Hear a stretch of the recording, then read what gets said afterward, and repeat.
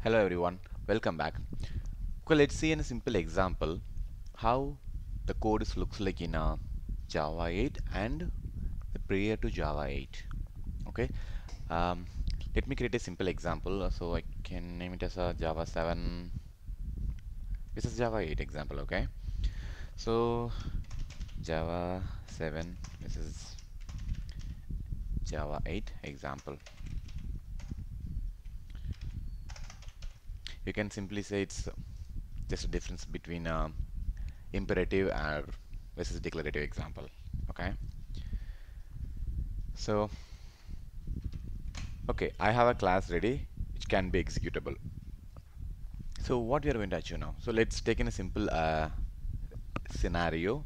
So how we are going to achieve that in Java 7 and Java 8 okay? So let's put a comment here before so what are we going to achieve here okay let's um, take a simple example okay? I'm I'm I need a uh, sum of uh, numbers from 1 to 10 or 1 to 50 okay?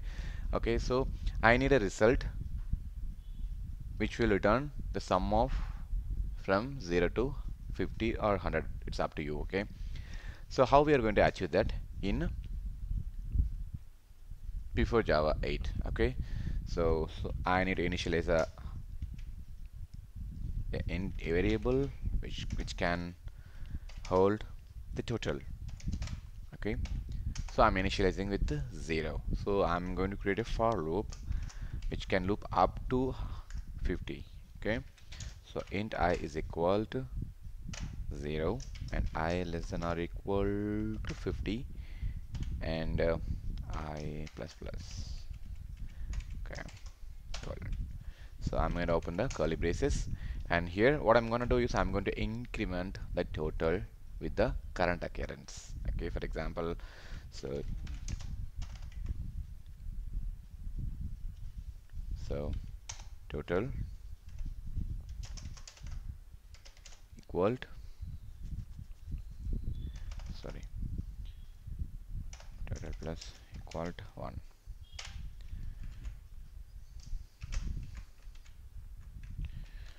okay.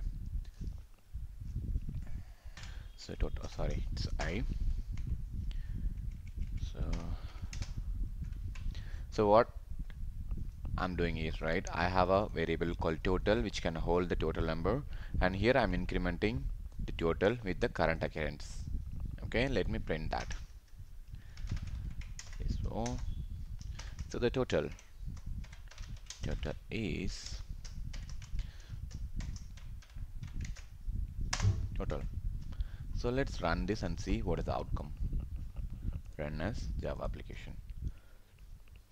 So the total is 1275 okay look straightforward okay let's write a code how we are going to implement in java 8 maybe you can put it as after. So so we are going to use the functional interfaces so let me create a variable which where we can call total 1 is equal to so I need to have a range of number from 1 to 15 so in our functional interface in Java 8 we, we, we can have a int stream or double stream there are a lot of streams available. So here I'm going to use the int stream because I'm going to choose the range between 0 to 50 okay? I'm going to use int stream dot range closed. Range closed means you can provide the initial value as well as the the end value okay? So what I'm gonna do is okay so the, the int stream dot range close which will contain the number between 0 to 50 okay so now I'm going to open up a map to do the sum operation. So here we can have map function integer new and sum so look at this code let me print the values. Well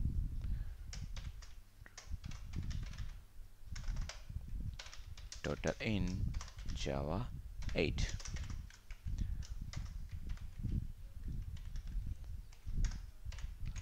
okay.